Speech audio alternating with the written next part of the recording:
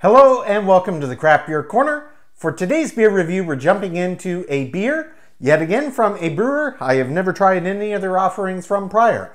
Um, this brewery is called East End Brewing Company. They're based in Pittsburgh, Pennsylvania, and today we're jumping into a beer called Gratitude.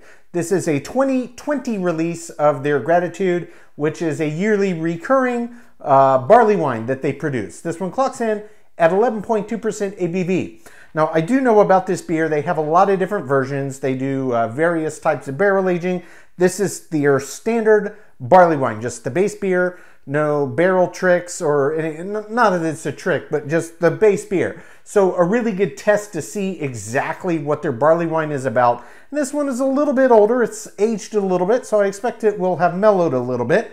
But nonetheless, we're going to jump in and try a barley wine uh, as a first beer from a new brewer. It is my favorite beer style, and what a great uh, way to test out a new brewer's uh, skill here. Uh, gratitude on the label, it's got this purple bird sitting on a branch. Not sure the relevance of that, how it uh, relates to the name, but that's uh, what they have on there. And a nice purple dipped wax purple wax dipped top as well to go along with kind of the color theme on the label. So I can tell you this wax is quite uh, tight to kind of dig through here. I've got my old trusty pointed end of my bottle opener, but this is really, really hard wax.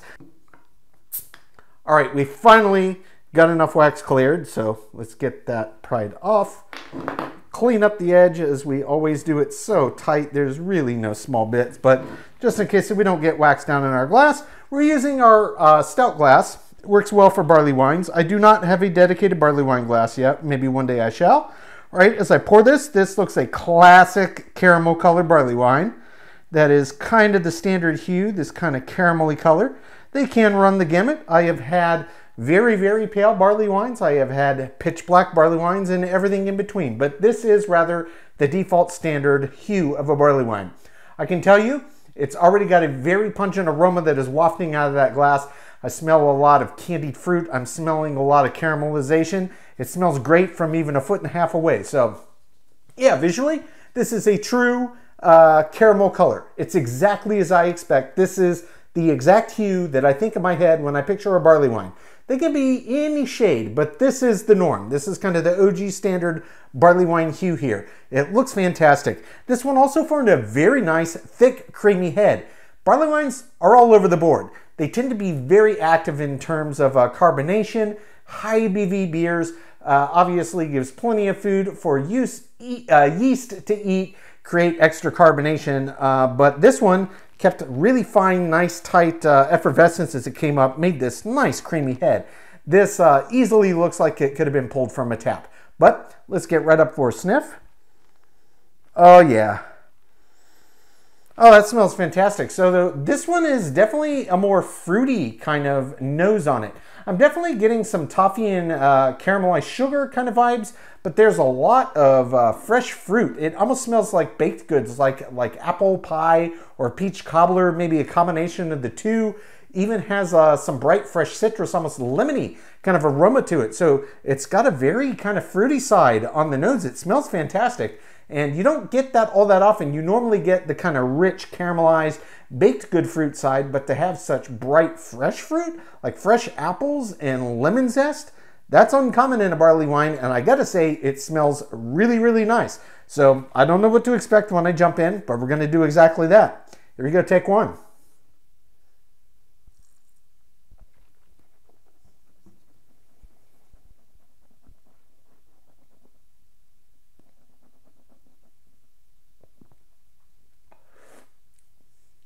Oh, yeah. Oh, man. Oh, wow. Wow. Ooh, there's a lot happening in this beer. I am really surprised by this. Very, very pleasantly so. So, this, to me, is reminding me of a cross between a couple different beer styles, maybe even a third. But let me go in and tell you exactly what I'm experiencing here. So, a lot of what you get on the nose does translate into the glass, but there's a lot happening in that glass that nothing you get on the aroma can even prepare you for. there is a very, very dominant, large, very upfront and center presence of bitters. Very, very bitter. Um, this would actually put to shame a lot of West Coast IPAs I've had with this bitter profile. The IBUs definitely have to be up there on this beer. That is very, very rare for barley wine.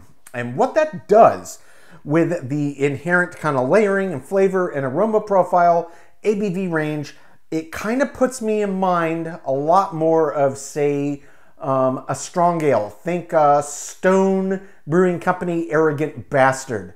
Um, that is kind of the vibe I'm getting. If you were to take a standard American barley wine, cross it with uh, Arrogant Bastard, that's starting to approach, like if you blended those two styles together, that's starting to approach kind of the beer drinking experience I'm getting out of this. And I mean that in the best way possible. Um, barley wine is, in general, my favorite beer style of them all. But uh, I'm not sure uh, if I ever mentioned this on this channel. Maybe intentionally I didn't. But my absolute, if you were to ask me point blank, what's the best beer you ever had? What's your favorite? My favorite beer in the world is Stone Brewing Company's Arrogant Bastard. I think for me, for what it is and how it's pulled off, that is just about as close to beer perfection as it gets. It's got a little bit of everything that I crave the most uh, across multiple different beer styles in one.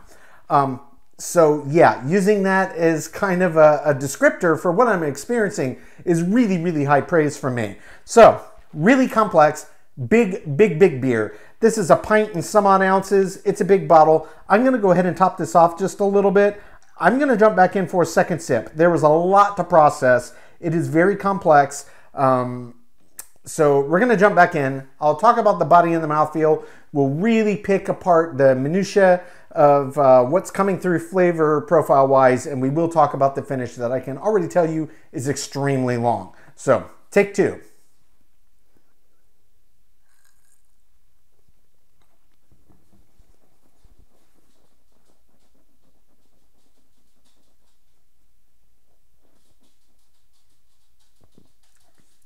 Wow, yeah.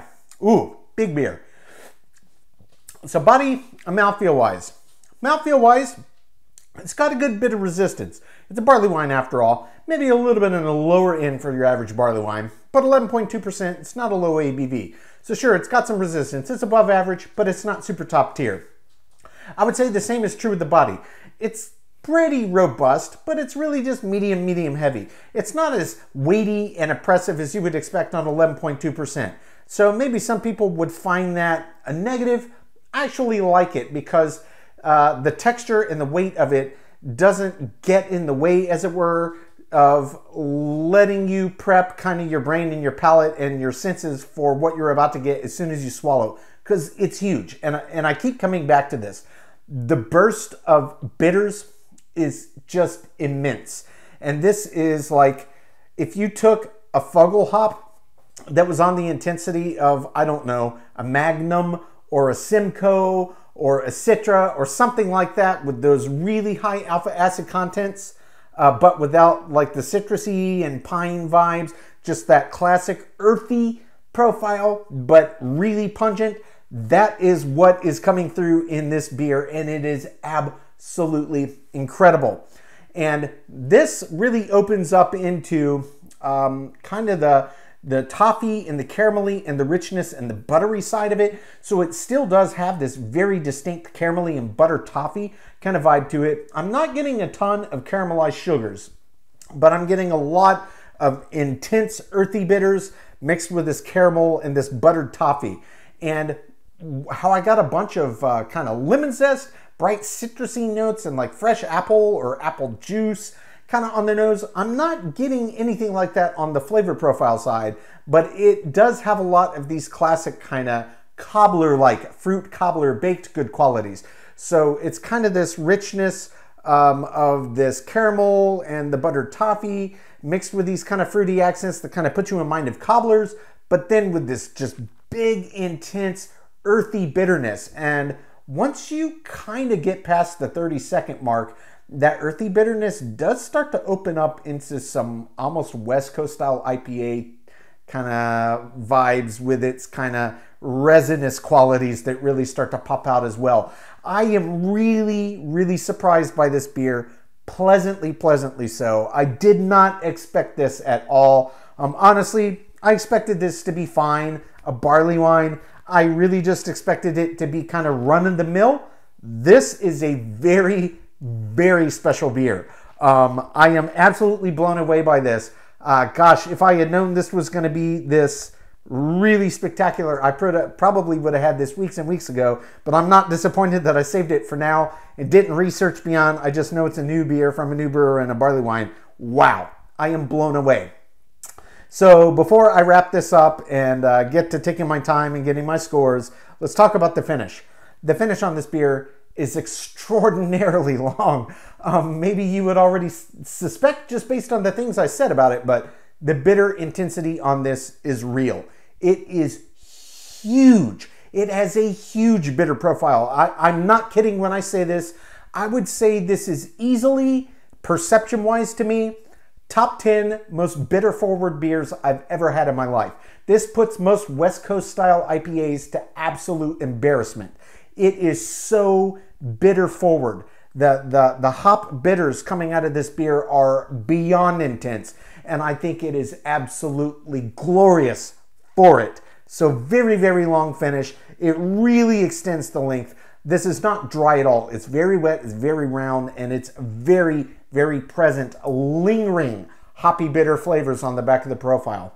That is still actually in tandem with a lot of the malt bill side of that kind of caramelly and toffee note um, that still lingers pretty long. The bitters from the hops far outlast that flavor profile, but it has really impressive mileage.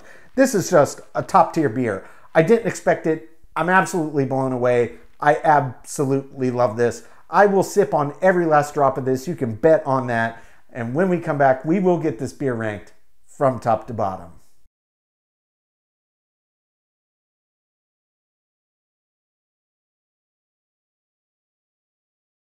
All right, so now that we've gotten to enjoy this beer, we're gonna get it ranked. This was East End Brewing Company's Gratitude 2020 release of their barley wine that they release annually. This one clocks in at 11.2% ABV. This was the standard barley wine. They have a bunch of different types of barrel aging. This was just the standard. Uh, East End Brewing Company is based in Pittsburgh, Pennsylvania.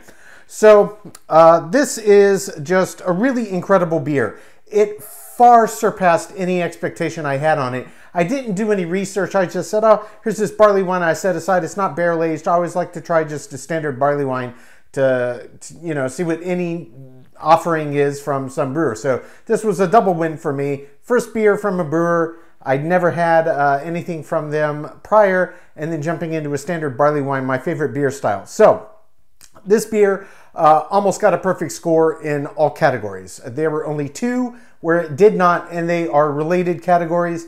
Uh, that is the body. The body on this was definitely above average. It was a big beer, pretty robust, 11.2% ABV, but the body didn't have quite the heft to it you would expect maybe for 11.2 for like top tier status. It was certainly above average for the ABV range, but not top tier. The body gets a 7 out of 10. The mouthfeel was very much a similar story. It did have some natural resistance. It is a barley wine after all, 11.2%. That's not a low ABV, uh, but it wasn't quite as resistant as you would expect for barley wine in that ABV range. Yet again, though, still above average. The mouthfeel on this one also gets a 7 out of 10, which uh, gives a perfect 10 out of 10 in all of the other remaining categories. That's the aroma, the taste, the finish, the head and retention, appearance, balance, feeling and intangible, and example of style. So the total score on East End Brewing Company's 2020 release of Gratitude came out to a 94 out of 100. So well above average, and saying that really is not even telling the whole story. Um, my my initial thoughts on this is I was experiencing it for the first time in second sip. I stand by that. So this may not have gotten a perfect hundred. Uh, not many beers that I've reviewed to date have made uh, that really uh, kind of top tier status for the scores because I have to rate the beer based on what I experienced firsthand. That being said, for my money, uh, slightly less robust body and slightly less resistant mouthfeel on a barley wine than I anticipate for an ABV range is really negligible in the grand scheme of what I think about the beer. And indeed, if you were to ask me point blank, uh, what are your thoughts on this beer in general, I would say unquestionably, for me personally, this is one of the top 10 best beers I have ever had in my life. I absolutely loved it. Uh, subjectively, I would give this a perfect score all day long. I did. Um, but I had to rate the body and the mouthfeel, uh, how it came out, what I experienced. But I absolutely loved this beer. If you uh, like Arrogant Bastard by Stone Brewing Company and you like barley wines in general, this is absolutely one you've got to try. I mean, the commonalities between this, I, I am not kidding. It blows the hop intensity and bitter forward nature of many, many, many West Coast style IPAs to absolute shame. That paired in a beer that shares a lot of commonality in the flavor profile with Arrogant Bastard, a big, big, big strong ale, uh, and in a barley wine package, this beer had a ton going for it. It was absolutely beyond the complexity I ever would have guessed, and I loved every drop of this thing. I wish I had ordered at least five bottles of this. It's that good. I'm to have to search high and low to see if I can find this being sold anywhere or the next time Tavour pops it up, grab whatever my limit is because I absolutely loved it. Folks, that is today's review. As always, I do sincerely appreciate you tuning in today. Please don't forget to like, comment, and subscribe. If you want to stay in the loop when our videos go live, just turn on your notifications, hit that bell icon. It's right next to the subscribe button. Until next time, keep it beer, keep it craft. We'll see you on the next one. Cheers.